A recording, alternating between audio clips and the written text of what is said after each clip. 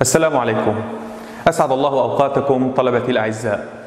لقاء يجمعنا عبر موقع مدارس جيل المستقبل الخاصة الإلكتروني ضمن مشروع التعليم عن بعد. سيكون لقاؤنا اليوم ضمن منهج اللغة العربية لطلاب الصف التاسع. سنتحدث فيه عن درس المنادى. المنادى هو اسم يأتي بعد أداة من أدوات النداء بغرض تنبيهه أو استدعائه. طبعا أدوات النداء المشهورة منها يا ولكنها كثيرة. يا أيا أي هيا والهمزة. أمثلة. أخالد يا خائفا. أيا مسافر. هيا رباه. أقسام المنادى. يقسم المنادى إلى قسمين. القسم الأول هو المنادى المعرب ويكون منصوبا. وله ثلاثة أنواع. النوع الأول هو المنادى المضاف. هذا المنادى المضاف يأتي بعده مضاف إليه. مثال يا طائر الباني. يا طائرة لاحظوا هنا جاء بعده الباني مضاف إليه. طيب كيف سأعرف المضاف إليه؟ المضاف إليه اسم مجرور يعرب يعرف من الاسم الذي قبله. الاسم الذي قبل المضاف إليه لاحظوا هنا طائرة مضاف. غير معرف في آل. ولم يتصل به ضمير وغير منون يعني ليس يعني ليس منتهيا بتنوين. مثال آخر أجولان العروبة. الهمزة حرف نداء. جولان منادى مضاف منصوب وعلامة نصبه الفتحة الظاهرة على آخره. لاحظوا جاء بعده مضاف إليه. هنا العروبة مضاف إليه مجرور وعلامة جره الكسرة الظاهرة على آخره. أعيد. جولان الذي يأتي قبل المضاف إليه هو المنادى المضاف. غير معرف في ال. ولم يتصل به ضمير ولم ينون. وأمثلته كثيرة في الكتاب. مثلا تفيئي في قصيدة تفيئي ظل الخلود في الفصل الثاني يا أخت جبار البطاح. أيضا في قصيدة القلب المتيم نشدتك الله يا طير الحمام. أيضا أمثلته كثيرة في الكتاب.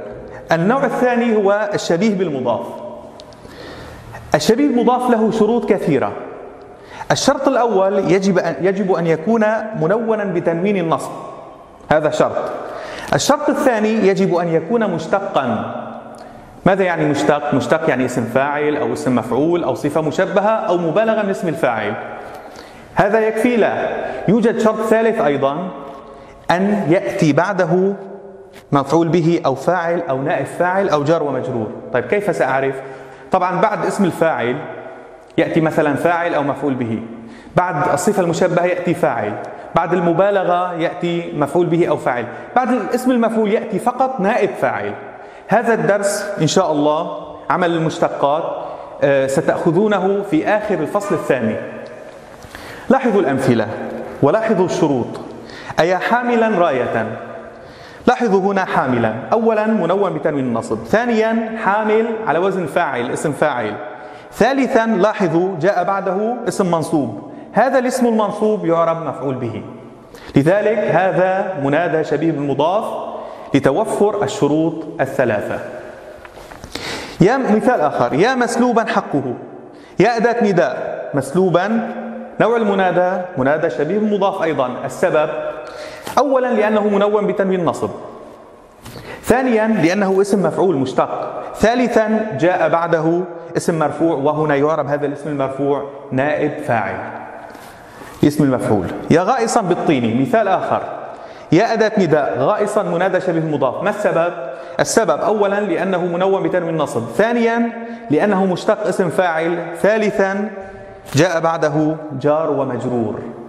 فالخلاصة من هذا النوع يجب أن يكون المنادى في هذا النوع منونا بتنوين النصب. ثانيا يجب أن يكون مشتقا. ثالثا يجب أن يأتي بعده معمول يعني مفعول به أو نائب فاعل أو جار ومجرور أو فاعل. النوع الثالث والأخير هنا في هذا القسم النكرة غير المقصودة وهي نكرة غير معينة. يعني ننادي الاسم غير محدد. مثلا عندما نقول يا غافلا نحن نقصد جميع الغافلين ولا نقصد شخصا معينا غافلا. يا غافلا يا أداة نداء غافلا منادى نكرة غير مقصودة منصوب علامة نصبه الفتحة الظاهرة على آخره. طيب كيف سأعرفه؟ هو منون بتنوين النصب. ولكن مثلا قد يكون مشتقا ومنونا من النصب ولكن لا يأتي بعده معمول مثلا جار ومجرور أو مفعول به أو نائب فاعل أو فاعل. مثلا قد يكون غير مشتق مثلا يا رجلا. ننتقل إلى القسم الثاني المنادى المبني على الضم وله نوعان فقط. النوع الأول منادى مفرد علم. طبعا مفرد علم يضم اسم الإنسان ويضم أيضا اسم أسماء الأنهر ويضم أيضا أسماء المدن والبلاد والشهور الأشهر. مثال أمثلة يا دمشق. أعمر يا نيل. يا مصر. يا خالد. يا أداة نداء. دمشق منادى مفرد علم مبني على الضم في محل نصب على النداء. هكذا نقول في الإعراب أعيد. يا دمشق يا أداة نداء. دمشق منادى مفرد علم مبني على الضم في محل نصب على النداء. وكذلك الأمر في قولنا يا نيل. يا أداة نداء نيل منادى مفرد علم مبني على الضم في محل نصب على النداء. أعيد. اسم العلم هو اسم الإنسان وأسماء الأنهر والبلاد والمدن والدول وأسماء الأشهر أيضا.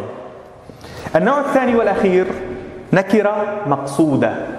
النكرة المقصودة هو نكرة هي نكرة معينة يقصد بها شخص واحد أو شيء واحد.